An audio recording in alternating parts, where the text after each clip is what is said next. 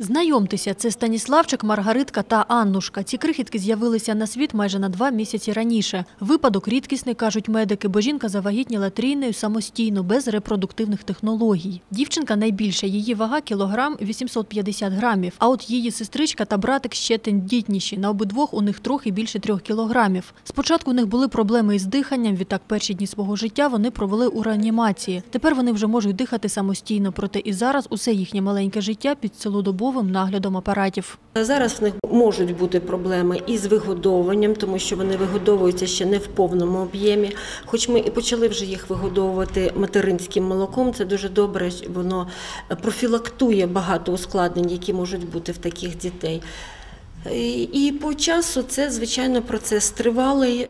Не тільки довготривалий, а й дороговартісний, каже мати новонароджених. Тетяна зараз дуже спантеличена та майже весь час плаче. Для жінки це вже четверті пологи, а у дітей тепер у неї аж шестеро, бо вдома її чекають ще троє доньок. Ми жили в Хмельницькому, сестра з чоловіком, з дитиною, я з своїми дітками. Ми ну, вступилися, поїхали до дідушки в село жити. Там дві кімнати, то ми там в будинку. Тісновато нам було тут. А зараз ще тісніше буде. Ой.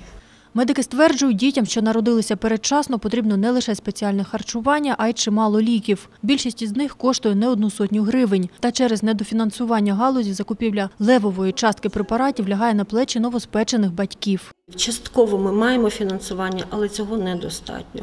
Ми маємо багато, е, багато небагато, непоганий спектр антибіотиків. От розчин амінокислот ми не маємо. Це дуже дороговартісний препарат. Він е, практично флакон коштує 400-500 гривень. Препарати заліза також купують батьки. Крім того, вони купують всі витратні матеріали, практично всі витратні матеріали. Та де взяти на них кошти, жінка, яка виховує дітей сама, не знає. В даний час я от оформила дородові, ще дуже ще не прийшли. І треба лікувати, а за що я ну, буду плакати.